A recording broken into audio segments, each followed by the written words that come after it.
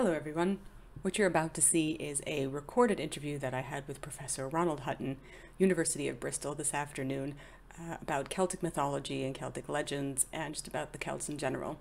Um, all these questions were gathered from people in my seminars and my writing groups. And even though we didn't get to all of them, Professor Hutton was very generous with his time. So I hope you enjoy the answers. We have a very, very special treat today, a very special guest, the legendary legendary Professor Ronald Hutton. You'll be a myth soon, but legendary for now. Uh, legendary Professor Ronald Hutton, author of Queens of the Wild, which of course I have right here. Um, Stations of the Sun, which is my Bible, which I actually have open in the background on the digital digital version. Uh, the Witch, which I also have right here, which I have to keep lending out because people keep asking me for it uh, Blood and Mistletoe, Triumph of the Moon, The Druids, Rise and Fall of Merry England, is professor of history at University of Bristol, uh, and a leading authority on ancient, medieval, and modern paganism, the history of the British Isles in the 16th and 17th centuries, and the global context of witchcraft beliefs. Professor, welcome and thank you so much for being here. Thank you for inviting me. I, I really can't believe you said yes just on a whim like that. It, usually when I ask, you know, you always get air or or it's oh, you know, I'm busy or I can't in this moment. And I know you're very busy, so we'll we'll get to the questions. So uh, all the oh. questions are exactly uh, as people have written them. Some of them left names, so I'll I'll read out the names. Uh, but uh, all of these people are very aware of what you do and who you are. So uh, question number one What did the Celts call themselves? They had different cultures, different gods, different clans, and kings. The Romans called them Celts when referring to Gaul, but what did they call each other? The answer is, as far as we can tell, they used the names of their separate tribes. Okay. There's not much sign that they felt that they were a common people in the later nationalistic sense they certainly weren't part of a common confederacy or common state. They certainly felt related to other tribes in their regions by language, but that didn't stop them fighting them. like most peoples, they banded together pretty efficiently when there was a big threat from the outside, like the Romans. Um, I remember reading, I can remember where it was, maybe Pictish Chronicle, that uh, the Irish called the Picts the Cruithni, and then uh, but they called themselves something else. So it seems like they all had, I wouldn't say code names, but they all had names for each other depending on where they were geographically, and they seem to be fine with that. And I think I think it's kind of strange that we all just band them together in this term Celtic. I mean, now we talk about Celtic in terms of languages, but it's quite strange that you know Brythonic Celts and Gaelic Celts and that everybody should be considered to be one major thing, which I, I think is quite odd. Um, this this one, admittedly, is sort of my question because when I do uh, when I do uh, uh, seminars on Celtic mythology and uh, and Irish culture, um, the these questions sort of come up. So this is one I just kind of wrote down, knowing that the Gundestrup cauldron has elephants on it. Can we still consider it to be true Celtic art? No, is the answer. Oh no. Uh, it's it's an astonishing blend of different styles. Uh, as you've indicated, some of the patterns pretty well clearly come from India, hence the elephants and some of the other animals. Uh, the famous uh, antler-headed, cross-legged god looks remarkably like an image of Shiva from the Indus Valley. On the other hand, Shiva isn't wearing pajamas in quite that way and it looks as if uh, an Indian god has been blended with a European one. In terms of metalwork, we're now pretty sure the cauldron is made by the shores of the Black Sea, which is an area outside even the wildest stretch of Celtic territory. So definitively, if it's made there, it's not Celtic. But there may be different influences, some of them from Celtic speaking peoples in the mix. The one thing we can't do now is call the cauldron Celtic art or a Celtic, art, Celtic artifact, pure and simple. Gonna have to change all the textbooks. Yeah, every every time you see the, the name of Celts, that image always shows up. I even have it on one of my slides. in which I tell people that, of course, you know, there's elephants on it. Uh, ah, I love I love shooting down the the the the preconceptions. It's great. Uh, next question. So uh, this one this one I actually asked you a little bit over email. So the origin of the Crann na which really should be spelled differently, the Celtic tree of life. Where does this idea for a single Celtic tree presenting life come from? If the Celtic peoples were all different peoples, does it have something to do with the Inish Avlach? Does it have something to do with the Druids and their sacred oaks? I confess that I hadn't heard of this thing until very recently, and I have no idea where it comes from. It certainly doesn't come from the ancient world or medieval Welsh or Irish literature. It looks like a perfectly feasible and workable and justifiable modern extrapolation from the Kabbalah using Celtic ideas, names, and images. Are there other uh, examples of uh, mysticism from the Kabbalah to the the Celtic world that have been sort of superimposed? I can't think of another. Uh, and there may be some import from the, the Norse Yggdrasil, but uh, the new Celtic tree of life doesn't seem to work like Yggdrasil. No, it, doesn't. it works more like the Kabbalistic tree of life. And uh, as as I said to you, it seems like every jeweler from here to Ballina claims either that they have their own style or that they've made it or uh, or that it's some kind of ancient Irish thing, but it just isn't. And even though I know that you know obviously there's sacred oaks and apples were very very important in the mythology, when I when I look at the Celtic tree and I think, well, there's no apples on it. There's no there's no indication that it's an oak tree. What tree is this? There there just seems to be no answer. Yeah. Speaking of no answer, uh, the Wicker Man where did the Wicker Man come from? There is very little archaeological evidence for it. So, what were the Romans seeing, or did they just make it up for the purposes of demonizing their enemies? They could have made it up, or it could have been a true tradition found in Gaul, present day France. There are two authorities for it. One is Caesar, Julius Caesar, and the other is the Greek geographer called Strabo, who may actually be reporting the garbled version of what Caesar said. So there may be just one source instead of two. And Caesar said that when the tribes of Gaul hit trouble, they constructed uh, a large image and they put human sacrifices, mostly condemned criminals, into that and set it on fire. Uh, we have no idea how reliable this report is. It could be a totally objective piece of ethnographic reporting, or it could be a made up bit of Roman propaganda. The important thing is that it's an amazingly live modern image because of a book and a film. And the book is the first illustrated history of Britain by an enterprising lawyer in the 1670s called Aylett Sammes, who published the very first picture book of British history. And he included a really striking and imaginative depiction of Caesar's Wicker Man. And this has gone down ever since. I got a tea towel with that same image from Sammes on it. And it was seen by the screenplay writer of uh, the B movie, The Wicker Man, came out in 1973. And it's really that film, with its massive cult status on both sides of the Atlantic, that has produced its modern familiarity. I remember in one of your talks, you were talking about um, uh, one of the bog bodies. I think you were talking about Lindow Man. And uh, you had said that you know there's a great mythology around Lindow Man that he that he was killed by uh, by evil means, and then you had found that it was completely different than the original account that was given. I didn't find that it was completely different. What I found was the original diagnosis was uh, faulty.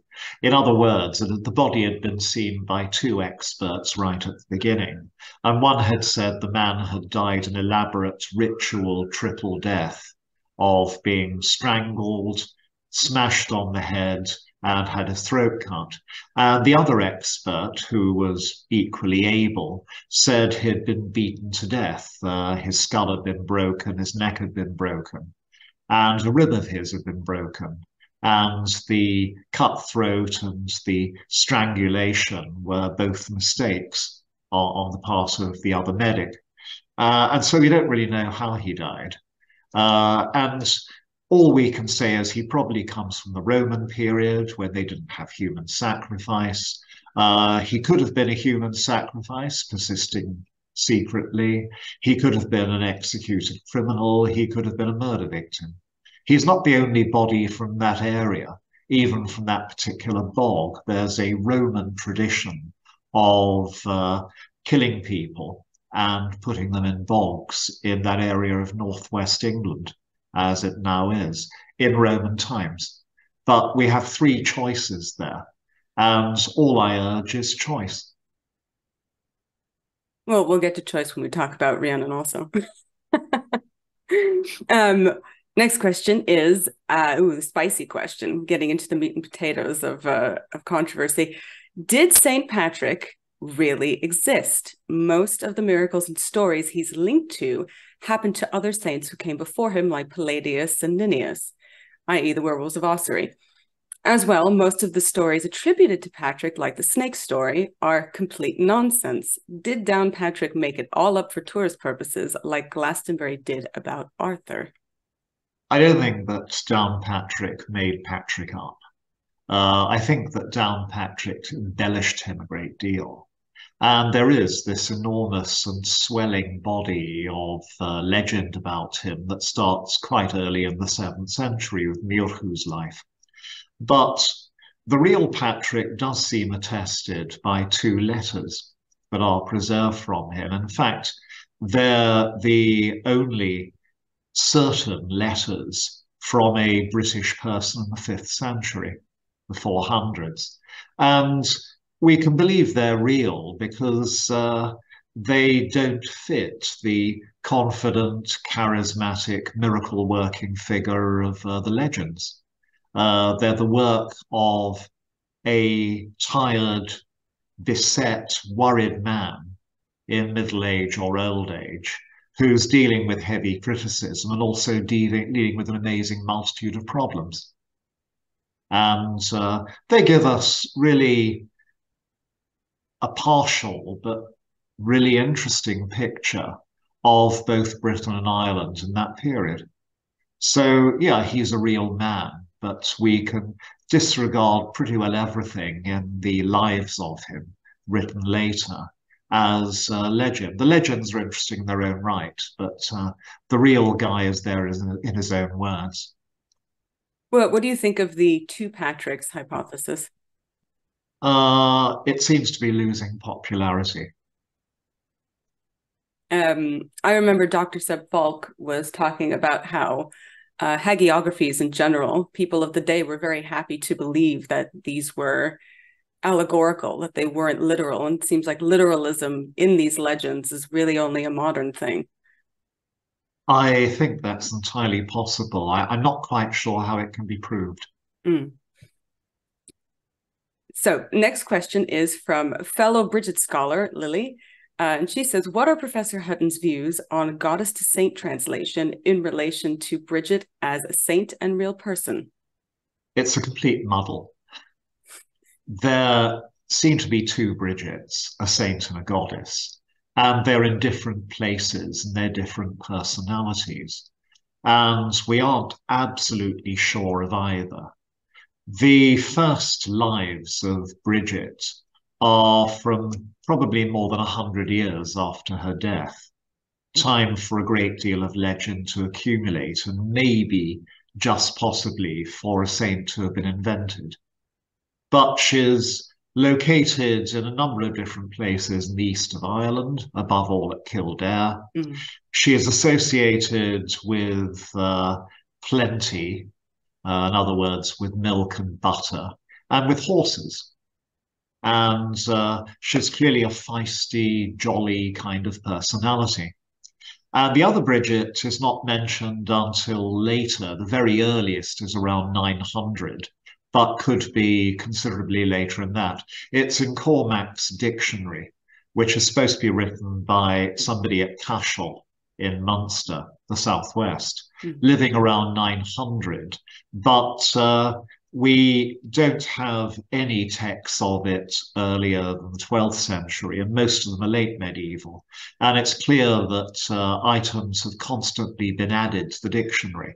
So the references to Bridget could be considerably later than 900.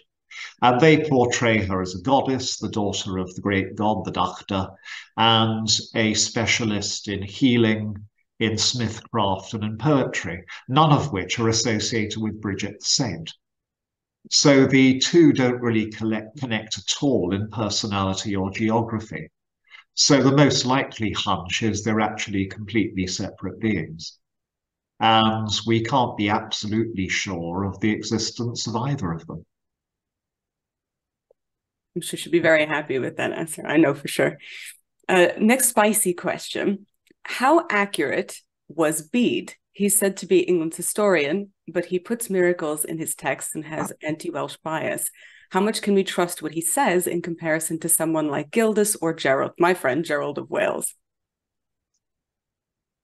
We can check Gerald of Wales really easily because he's writing much later and there are plenty of other authorities this time. Gildas stands alone. He's much earlier and he's not interested in history and he's interested in complaining. And there's nothing around uh, of other evidence against which to check him. For Bede, we have a bit. We have the Anglo Saxon Chronicle, which matches Bede's accounts. And I think, in terms of actual events, he's really good on Northumbrian history after about 600 because that's within living memory of his own time, and he would have talked to some of the people involved in most of those events. Before that, he's unreliable, but he knows he's unreliable. He's dependent completely on others. He doesn't say very much about the process of conversion to Christianity. I'm not sure he knew very much about it. And what he does say is not entirely reliable. But in terms of the kings who reign after 600 and the things they did, uh, I, I, think we can believe him. And there are also in his life of Cuthbert some moments that actually look quite embarrassing to the Christian cause, like when uh, a group of uh, Christians from a monastery are being carried out to sea on a raft and the local people who've come to hate Christians gather and jeer at them. Uh, this is clearly not a sign of a successful mission in a local Northumbrian community. And also the admission that when a plague arrives, a lot of people abandon Christianity, which is not the kind of thing that Christians will want to hear. So there is stuff in Bede that is so counterintuitive to propaganda that I think we can believe it. So probably after 600, about 80% of Bede can be relied upon. Uh, before then, virtually nothing. What about Eostre? Because I remember in an email I sent you, somebody had asked me about hot cross buns and where this myth of Saxons baking hot cross buns for Easter came from. And I, I think I tracked it down to one home and garden magazine in the 1990s that has perpetuated this this idea, but he mentions, I know Bede mentions Eostre once, I think. Yeah, he does. Uh, he mentions two goddesses, uh, in connection with March, the Roman month, and Eostre in connection to April. Uh, and that's it. Mm. April is the Joster month from the goddess. Uh, he doesn't connect Eostre to Easter, but there has to be a good reason why the German speaking peoples are the only peoples in Western and Central Europe who don't derive their name for Easter from the Roman one. So it must come from somewhere. So it could come from a goddess, except that she's the goddess associated with April. And Easter isn't always in April. So it could be that her name is cognate with various uh, old Germanic words associated with the dawn and opening. Mm-hmm. And April is the opening month when the landscape in Northern Europe turns green and the light begins to predominate properly over the dark. And Eostre could have been a dawn goddess as a result, or a goddess of the east. And Easter may have no connection with Eostre. Uh, it may come from the idea of the opening of Christ's tomb and the dawn of uh, a new age of Christianity. So once again, we end up with a puzzle. I, am kind of happy with puzzles. They give people room to believe different things. I agree with you. I, th- I think it's far more interesting to have have the question than the answer. Uh, speaking of which, the Picts and Pictish myths, Scottish mythology shares much in common with Irish, but there are many nature myths, especially around lakes and whirlpools, that remain pure in Scottish tradition. Do you think this is a vestige of Pictish myths or beliefs? The answer again is we don't know. Uh, we know the Picts were Brits. Uh, their language has been analysed better than before, and it is a version of Brythonic, so it's related to Welsh. Uh, they're not a separate people. They are simply the Northern British speaking dialects of their own up there. So I think it's pretty well certain that quite a bit of native quite ancient British mythology has come through. But it's overlaid with so many Irish, Gaelic speaking, and uh, lowlands, Germanic speaking Scots influences that untangling them is rather like unscrambling eggs. It's just that when you have common heroes on either side of the Irish Sea, like Finn, mm-hmm and common figures like uh, the Cailleach or Cailleach, uh, then the Irish influence is plain. So then how, how accurate is Pictish Chronicle? uh, it's better than nothing. The great thing about the early Scottish chronicles is that uh, you can match them against each other.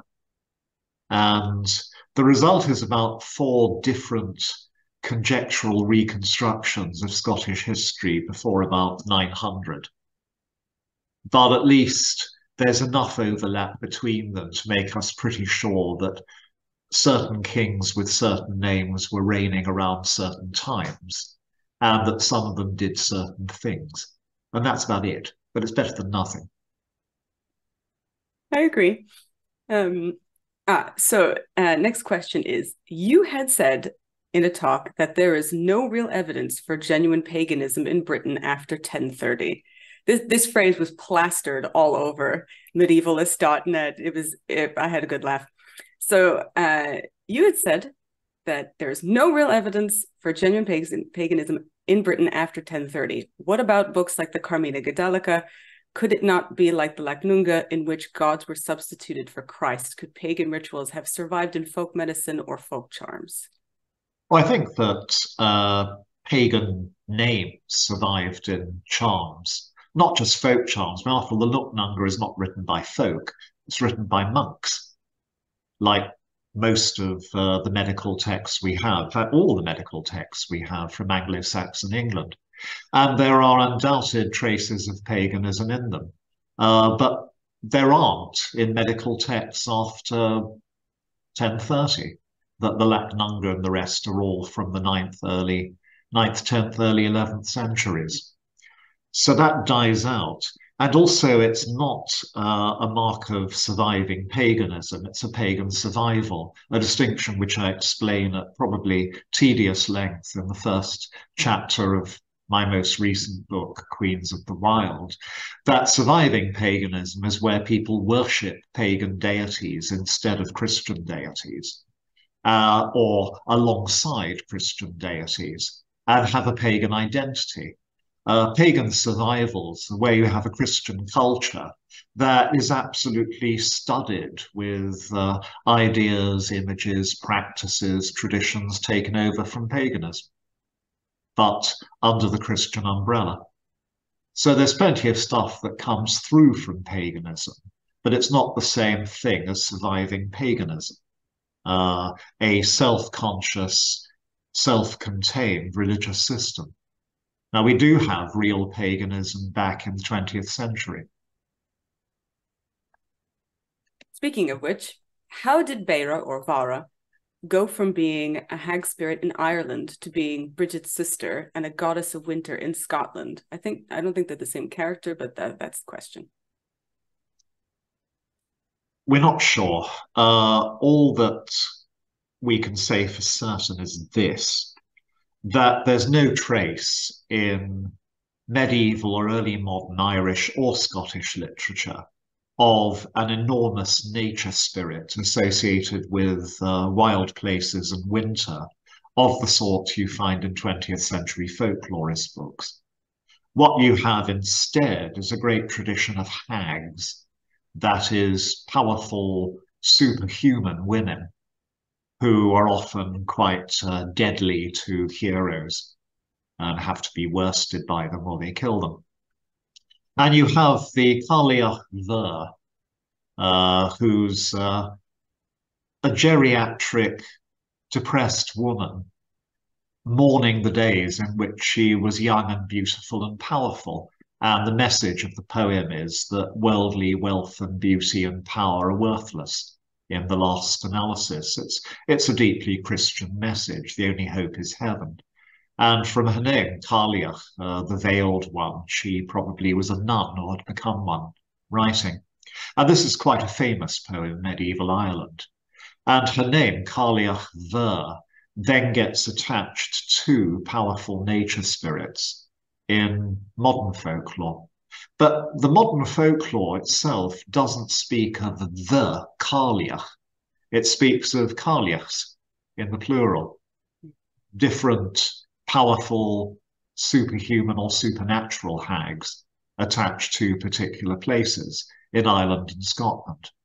And then in the 20th century, uh, a couple of folklorists create this composite figure called the Cailleach and decide she's an ancient pagan goddess.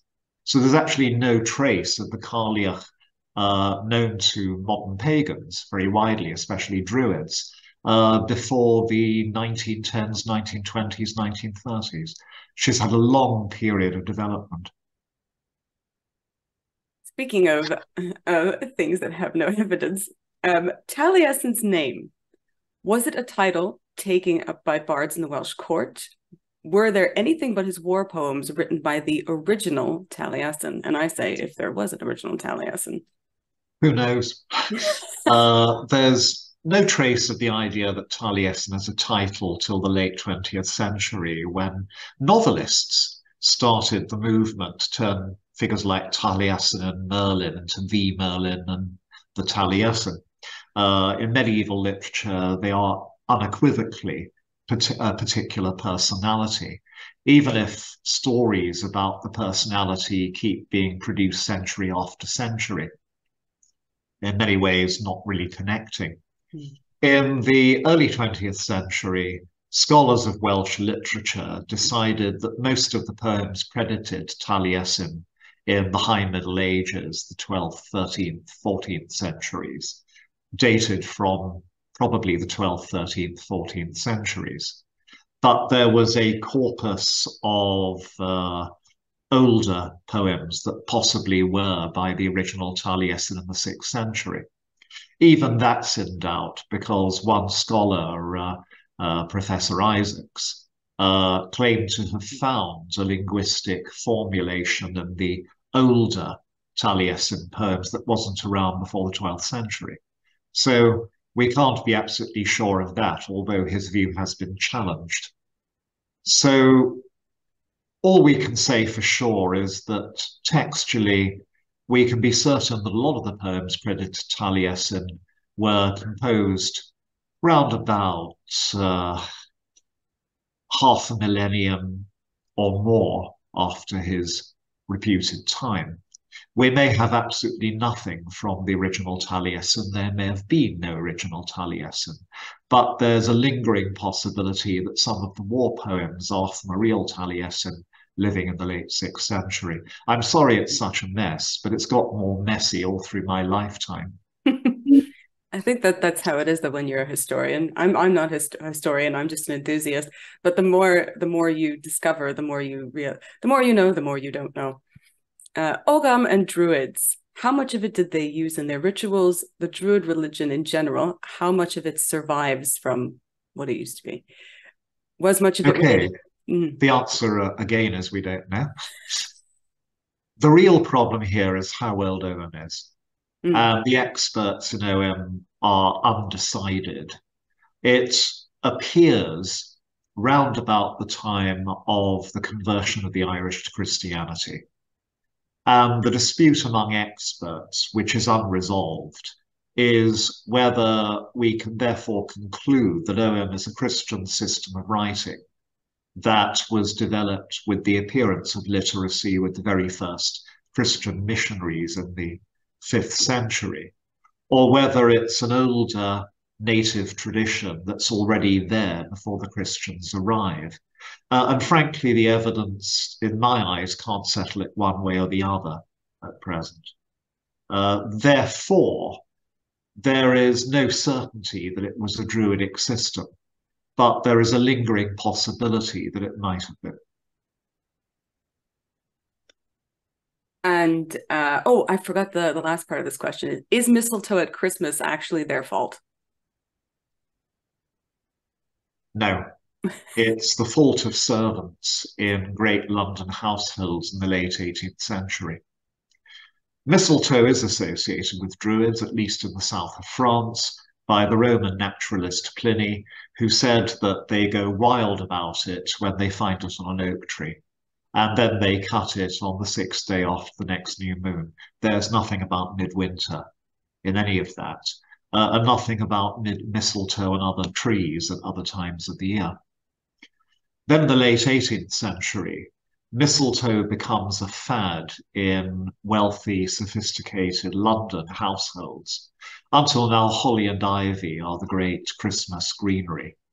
Mistletoe is much rarer, but it's getting more common in the 18th century and it's sexy if you're used to boring old holly and ivy.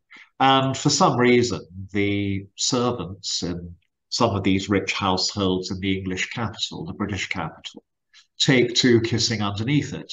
And when their employers find out, very sportingly, instead of forbidding them, they imitate them. And so by the early 19th century, it's a well known English custom and travels out across the English speaking world. But uh, the Druids aren't interested in it at Christmas or growing on most of the trees from which it's cut. It's a mistle oak that was the big deal to them.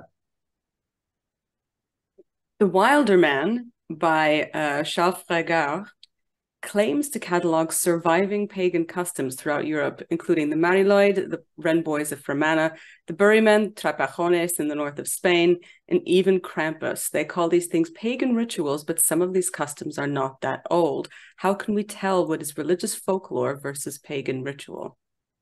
I don't think that we can tell what's religious folklore versus pagan ritual if it's old in the early modern period. Uh, we can probably say that for sure that certain modes of folklore, like lighting sacred bonfires at midsummer and at the beginning of uh, the summer pastures, uh, venerating trees and poles that are dressed up in foliage to look like trees, is all prehistoric because it's found over a great area and it's recorded quite early. Likewise, having summer kings and sometimes summer queens as well to preside over village festivals. This is really early. And at midwinter, giving presents, bringing in greenery to decorate homes and temples, later churches, uh, and lighting up the place. Uh, this is all recorded at the beginning of history. So there are an awful lot of folk customs that are genuinely pagan, even if uh, they were taken into Christian society and uh, lived quite comfortably within it most of the time. More generally, there are old modes of doing things like having dances to welcome in summer, or having plays at midwinter to entertain communities stuck at home. that changed form. So there have always been plays at midwinter, but the Mummers play, the most famous Victorian English form, which scholars thought for a while was Neolithic, is actually an 18th century invention. Likewise, the Morris dance, the most famous of early summer English dances, is a 15th century courtly fad from France and Burgundy, which happened to put down popular roots in England in a way it didn't on the continent. So it depends what you're talking about. By saying the Morris dance and the Mummers play and lots of other 19th century customs are not older than at most the late Middle Ages is not a way of saying that people didn't have pagan plays and dances. It's just the form of them changes every few hundred years as people get bored with the old lot. Um, now moving on to King Arthur, because we're running out of time. Arthur's name. Who was the first one to call him Arthur, and which person inspired the original myths? We have no idea who inspired the original legend. Uh, we're absolutely sure who first mentions Arthur for with any certainty, uh, and that is the unknown author of the Historia Brittonum, the British history, who was writing in North Wales in the year 829. Uh, the, the date is in the book. And who was constructing a history of his people, the Welsh. And this unveils Arthur as uh, a hero victorious over the invading English in uh, a dozen battles with specific names, most of which are not credited to any other hero or historic character. And that's as far back as we can go. There are a few possible earlier references, but they're, they're really deeply uncertain. So the Historia Brittonum is where Arthur begins. And the essential Arthur is already there, a great hero fighting up and down the country and fighting foreign foes to defend his people. Speaking of uncertain heroes, Robin Hood was he linked to the Jack in the Green, or was he meant to represent pagans? Was he a forest spirit who got reappropriated? Similarly, what about the Woodwose? Uh, the Woodwose and Robin Hood are two quite different things. Uh, and the Woodwose and the Jack in the Green aren't connected at all. Uh, Robin Hood gets less pagan and less uh, godlike the further back you go. He looks pretty pagan and godlike in the 16th century still because he's a major character in the games that bring in summer. And he wears green and uh, he's associated with the greenwood. But when you cross the barrier, you get back before 1500. He's a hero of the people celebrated in ballads that are grittily, earthily real. There's no magic in them. There's no enchantment. And he's a deeply pious Christian, especially devoted to the Virgin Mary. Uh, he's just a better Christian than the rich churchmen whom he robs mercilessly. And one might say they're pretty evil rich, rich churchmen. So you're entitled to see Robin's point of view. So he's a realistic character, not a mythological one.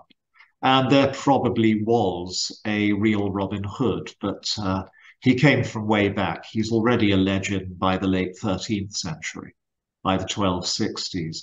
The best fit is with a character recovered from the legal records of Yorkshire back in the 1930s, who was an outlaw in Barnsdale, which is now on the A1 road, the Great North Road, uh, going up through Yorkshire, who was uh, outlawed in the 1220s and hung out in that area. And he was quite a charismatic guy. He had the nickname Hobbehod, which means the enchanted or fairy hood. And probably he's our original Robin, but we can probably never be sure. In your upcoming book about goddesses of love and war, or sex and violence, I think, as you said once, do you talk about the, the Morrigan? Was she the one god split into three spirits or three gods meant, meant to represent one thing? Why are the Morrigan and the Dagda the only two Irish gods to have the the title? Can't answer the last one. Uh, because uh, there, there isn't material to answer it. Morrigan will certainly be in my book. Uh, she's a chum of mine. Uh, I think she's the Irish Venus. She is certainly often accompanying other war goddesses like the Badb and uh, the Nemain. But she's not quite like them. Badb is really a personified hooded crow. Uh, she represents uh, the, the the beasts that feast on the dead after a battle, and so she encourages the battle. And uh, the Nemain inspires terror when she is around. Warriors panic. Uh, the Morrigan stands out from them. She loves battle, but she's also physically beautiful. And she gives victory to chosen heroes through sex. Uh, she gets it for the Dagda after some really first-rate lovemaking. And she offers it to Cuchulainn and gets rudely rebuffed. Uh, and uh, then drives her off. So she has a combination of sex and war, which is actually quite a common female pattern. It's the same you find in Venus, in Freya, in Inanna, in Ishtar, to a, a lesser extent in Aphrodite. Did all Celts have fairies? Some only seem to have gods and spirits, as well as there any correlation between their fairies and the Japanese yokai? I think that pretty well most peoples over the world have a belief in uh, local spirits, uh, often in the form of human beings who appear out of the natural world, or have an alternative kind of human-like society inside the earth or in an alternative dimension or on fabled islands.